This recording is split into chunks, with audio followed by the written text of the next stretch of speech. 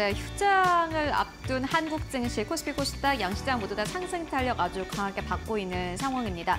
시장의 변동성은 계속해서 커지고 있지만은 그래도 우리 증시가 이번 주 들어서는 박스권 안에 갇혀 있는 것만으로도 사실은 안도감이 좀 나오고 있는 상황인데요.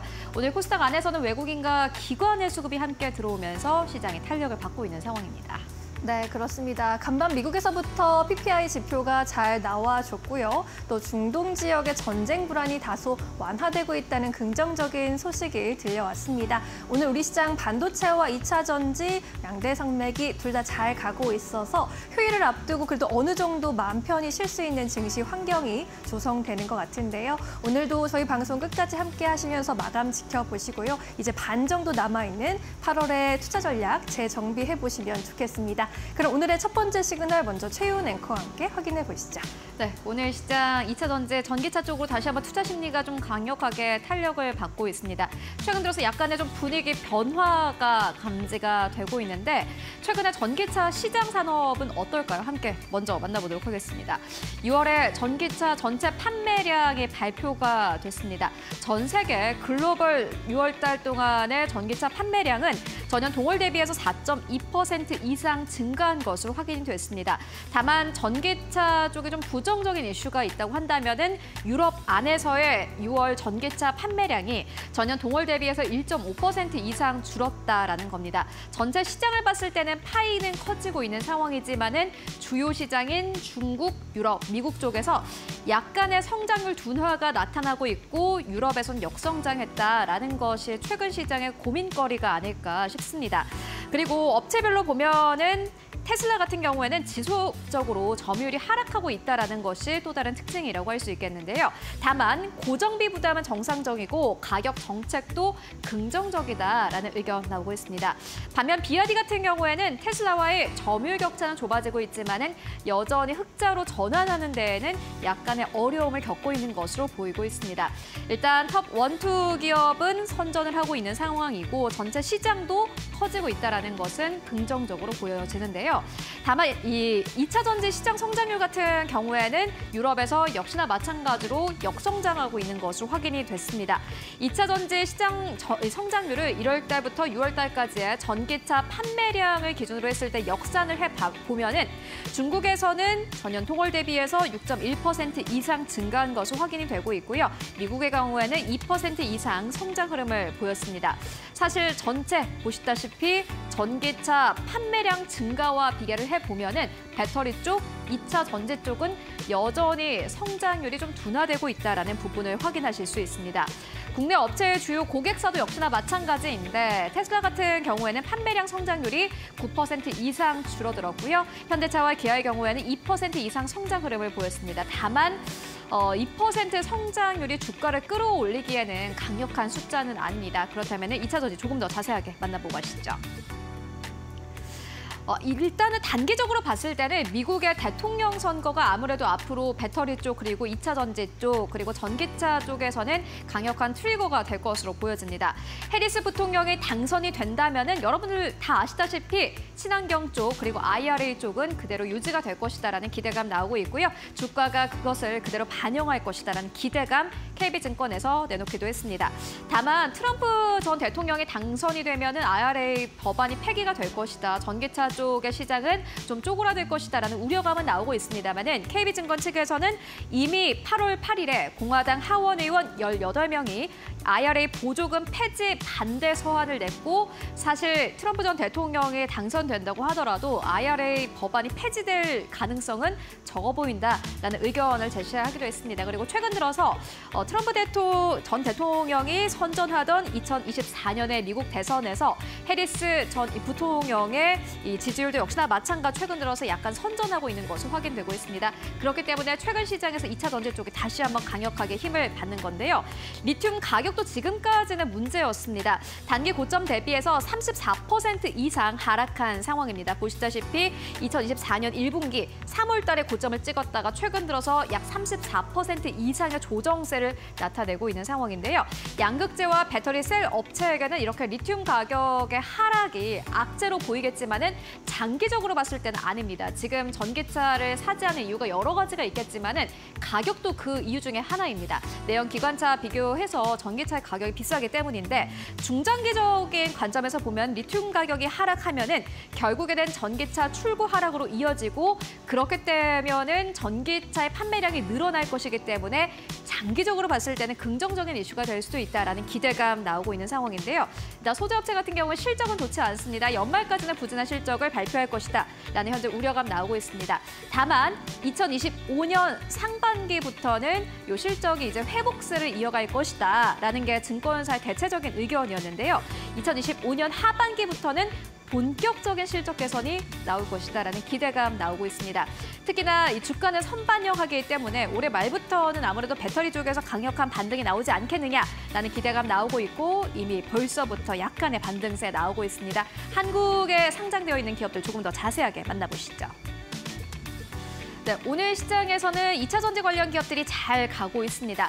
다만 거의 의견은 반반인 듯 합니다. 실적 개선까지 좀 시간이 걸릴 것이기 때문에 앞으로 주가 반등까지는 약간 시간이 걸릴 것이다 라는 기대감 나오고 있고 또 반대로는 어, 주가는 선반영이 되고 있고 각 기업이 가지고 있는 긍정적인 이슈로 인해서 앞으로 빠르게 주가가 반등할 것이다 라는 기대감도 함께 나오고 있는 상황입니다. 거의 5대5 반반인 상황인데 다만 에코프로 BM이 사실 의견이 가장 나뉘는 기업이 아닐까 하는 생각이 듭니다.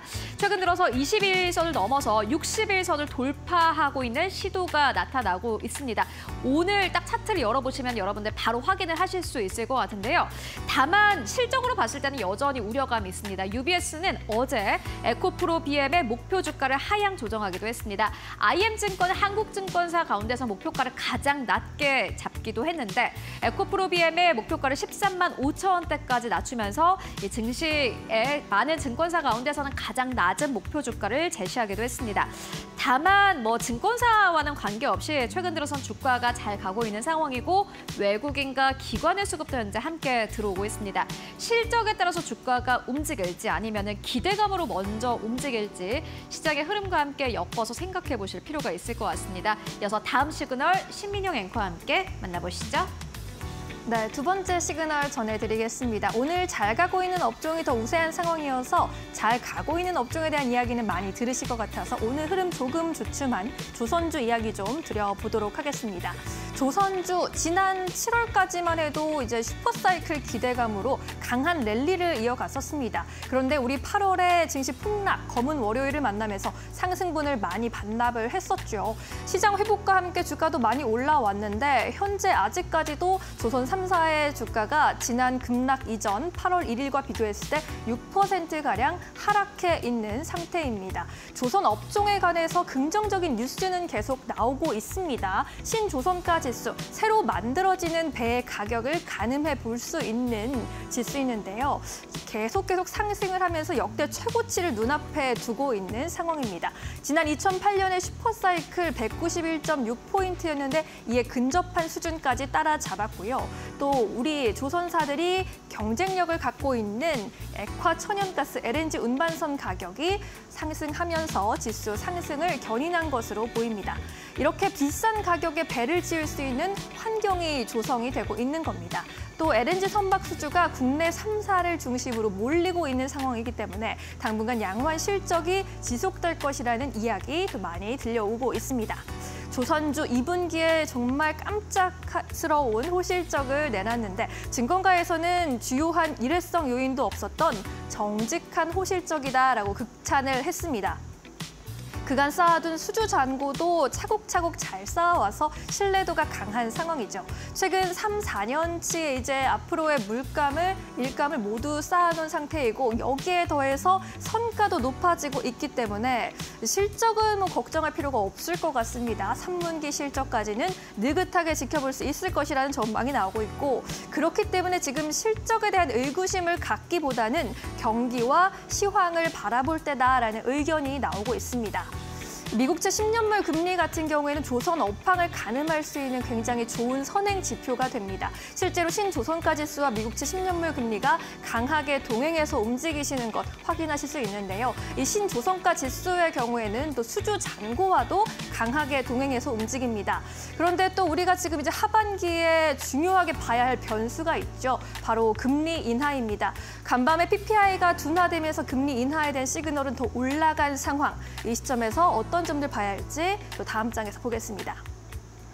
일반적으로 금리가 하락하게 되면 발주 하락과 신조선가의 하락을 동반하게 됩니다. 현재 조선 3사의 상선 수주 잔고가 846.3억 달러여서 피크였던 2008년 2분기에 92.9 수준으로 9% 수준까지 올라와 있는 상황입니다. 높아진 성과를 감안했을 때 수주 잔고와 선가 역시 향후 추가 상승의 가능성을 제한하고 있는 것으로 보이고요. 전 세계 물동량을 반영하는 탱커와 컨테이너선 발주는 금리와 보다 밀접한 상관관계를 갖는다고 합니다. 이 가스선 같은 경우에는 금리 인하에 크게 영향을 받지 않는다고 하는데요. 이 탱커와 컨테이너선이 좀 영향을 많이 받는다고 합니다. 그렇다면 이 선중에 또 차이는 조금 있겠지만 결론적으로는 금리가 하락하게 되면 지금처럼 이렇게 강한 발주가 이어지지 않을 것이다라는 결론이 나옵니다. 그럼 투자자 입장에서는 또 고민이 깊어질 수밖에 없는데요. 그럼 어떠한 결론을 가져가야 할까요? 다음 장에서 보겠습니다. 여전히 거- 긍정적으로 전망은 보고 있지만 그래도 다각적인 고민이 필요해질 것이다 라는 이야기입니다. 다행히 올해 남은 발주 전망은 아직까지는 긍정적인데요. 탱커의 경우에 지난해부터 발주가 꾸준히 들어오고 있는데 최근 하나오션의 VLCC 내척 수주 등으로 인해서 한국 주선사로서의 발주가 계속해서 이어지고 있는 상황입니다.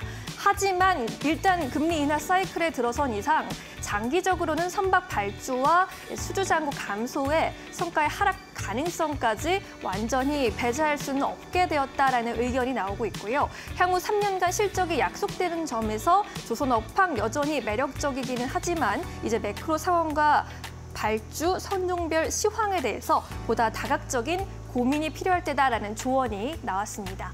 물론 금리 인하가 단행되게 된다면 또 단기적으로 증시 랠리를 끌어갈 수는 있을 것 같습니다. 하지만 금리 인하가 이제 본질적으로 조선 업황에 미치는 영향을 미리미리 확인하시고 대비하시면 또 좋을 것 같아서 오늘 시그널 전해드렸습니다. 네, 실적이 좋은 기업 그리고 업황이 좋은 기업들 계속해서 함께 살펴보도록 하겠습니다.